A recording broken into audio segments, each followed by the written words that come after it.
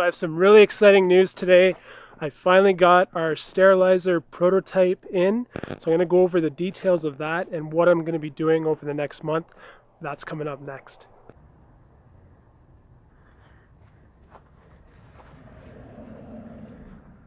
I hope you guys are having a great day. We still got a lot of snow here on the farm. Just look at these snow drifts that are coming off the roof here. They're just crazy been a lot of snow this year, and uh, for me, it doesn't really matter because we shut down. But it's been uh, it's been definitely a crazy winter. Um, so uh, today's video, I'm going to talk about our sterilizer. This is really exciting. This just came in.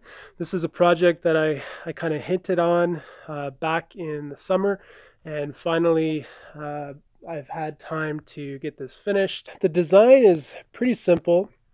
Uh, starters, the uh, the vessel is used in the wine industry. These uh, these bins, these are uh, used for harvesting grapes, and this one I picked up really cheap. It's uh, been bashed around a lot, so I picked that up for thirty five dollars. Whereas uh, this one is brand new with the lid. It was around four hundred dollars. So I think the lid is about a hundred dollars.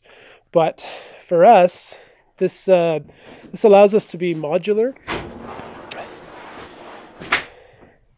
So I'll go over the, the whole design here just to show you guys, but I hope you can appreciate how awesome this is and just how different this is than any steam tank you've ever seen before. So to starters, uh, to start off this video, for the lid, um, what I'm going to do is I'm going to still probably do the same seal on our tanks that we use here. So this is uh, a rope that you normally find in, uh, like a wood burning stove that does radiant heat in your house. And they'll have these ropes that go in between the glass door and the furnace.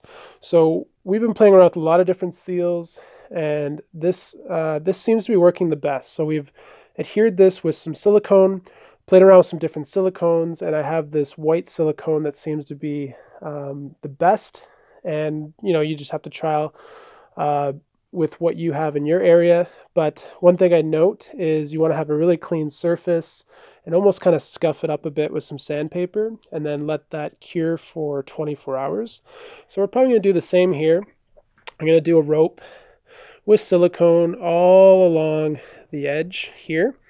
And then the lid is going to go on and I'm probably just going to do a ratchet strap on two sides of the tank here and that'll that'll keep the lid down and and hopefully sealed and no steam is going to escape.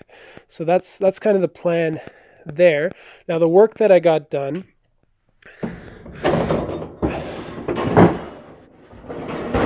so that that'll stay this uh, this screen is uh, I'm, I'm still getting everything priced out, but this screen's actually really expensive. Uh, apparently, there's only two places, I believe, in North America that do this uh, perforated uh, stainless. Uh, I don't even know what you'd call it, but I think uh, I think the brew- breweries use it to kind of strain out the mash when they're making beer. So we're using that as a as a false bottom, and we've we have a steam coil that we put on the bottom here, and essentially that holds the base, and then the bags are going to stand on top of that. So we have these little base bottoms that hold the steam coil up, and then we have 12 holes, and the holes are drilled underneath, so that steam is going to get pushed down towards the tank and, and then and then up into the tank. So these these little legs are holding the steam coil, and then we have the uh, the bottom that's going to then hold the bags in place. Everything's pretty strong. So I think we're going to hold about 700 pounds. And then we've designed a custom bulkhead here, which is really cool. And again, I'm not sure how much this this is. It can't be that cheap. And it has a gasket inside. So I just got them to drill a hole in the tank and then the bulkhead is actually welded to the steam pipe here and then reconnects there. And if you guys don't know what a bulkhead is, all it's doing is, is it's making sure that the hole that we've drilled into the tank is sealed with a gasket so there's no leaks. And then I'm going to thread onto here all the, the fittings I need to then connect to the boiler. I'll just show you what we have here. So this is our original setup with the 55 gallon barrels. And right now this valve is actually attached to the, uh, the steam barrels, but we're looking to detach the uh, the steam tanks and then reattach new ones and kind of sterilize every day or every second day. So this valve is actually going to change and it's going to get attached to the steam pipe header and then the union will get attached to the valve and then the union will attach to the valve and the the, the steam tank. So in this case, we'll have a union attached to this this steam tank as well. So we're looking to have a union connection that's like a quick disconnect connection so that the tanks can detach and cool down in a designated area. And then we can reattach new tanks and do a lot more production. Now, I've talked about this in a lot of my uh, other vlogs. I'll link a video here how we talked about how important the cool down is. And in order for these bags not to contaminate, you need to let them cool down in the steam tank for uh, for quite a long time. And the denser we fill these tanks, the longer they need to cool down. And we're looking to calibrate that with a uh, with a heat probe. So we're just putting a probe into the center of the tank, into the center of the bag, and then that temperature. Uh, we, we bring up to temperature about 200 Fahrenheit uh, when we're starting a batch, and then that'll run for about 15 hours.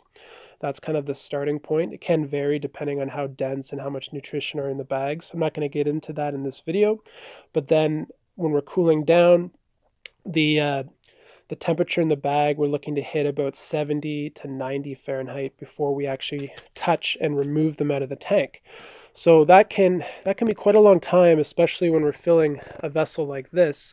These uh, these 55 gallon barrels at most can hold about 50 bags, whereas this steam tank, I need to figure it out, but I'm hoping it's around 150 bags, possibly more, especially when we're getting into the smaller bags when we're doing the master's mix. These are five pound bags. Uh, the wood chip bags, they have, uh, they probably sit up a little bit more, maybe about two to three inches. So they they use a lot more space.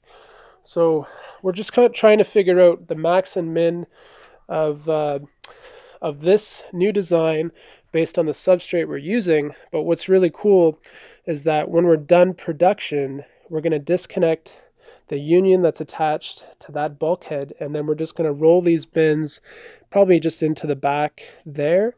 And if we have a forklift, we could even stack bins on top of each other and allow them to cool down in series that way.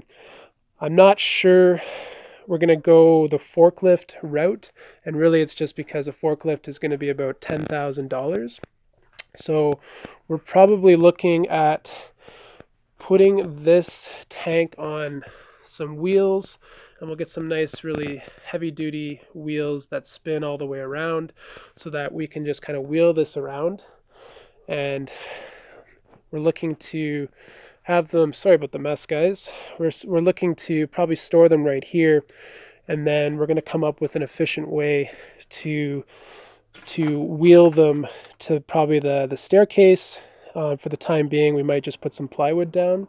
And then eventually we're going to have our main lab in the back corner there. And we're probably going to have a storage container right here, which is going to be the cool down room. And the tanks will just wheel into that room and then into that lab once we have the appropriate temperature that we're looking for. So that's just kind of a quick, a quick video on the tank. So I mentioned I need to probably still attach some wheels to this. I need to get some insulation. We're probably looking at some kind of insulation panels that we can we can wrap around the tank when we're sterilizing and then take away to uh, kind of speed up the cool down process. But also uh, the insulation uh, can get bulky, so it's kind of nice to be able to take it away. And I need to attach a plumber's drain on the bottom there. We uh, this these totes they actually have a spot where you can thread the plastic. So we've actually threaded in there and attached a uh, nipple, a stainless uh, threaded nipple, which we can then build on and attach a drain just like these tanks here. So we use these plumber's drain attack, attached to our tanks and this is really important because this allows water to drain out the tank but doesn't allow unclean air to get sucked back in. So this is kind of like an air stop and water is just going to accumulate in the bottom here and then as water builds up in the tank it'll push it up and over the top just like how your bathroom uh, sink would work or, or your kitchen sink and in this case we're not looking for any gases to get trapped we're just trying to make sure that the uh, the air inside these tanks stays clean so that's that's something we need to still thread onto this bin here as well oh and the other thing uh, that we've changed in this is that these tanks steam from the top. We have a temperature gauge, pressure relief, and a uh, 530 second vent. And that's going to be completely obsolete in uh, the lid. We're not going to do anything with the new tank. We're just going to be steaming actually out of this plumber's drain. So not only is this going to drain out excess water, but excess steam is going to get pushed out as well. Anyways, guys, I hope you found this helpful. That is the update on our new steam tank sterilization design.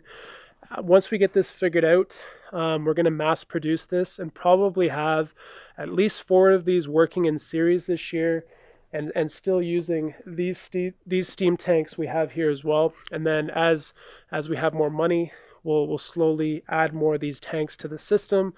And I need to figure out how many tanks can run off of these boilers. So we're gonna we're gonna start with two running in, in series and then we'll increase that to three and four and we'll see exactly what these boilers can handle and that'll kind of determine what capacity we can do. But this is all really exciting stuff.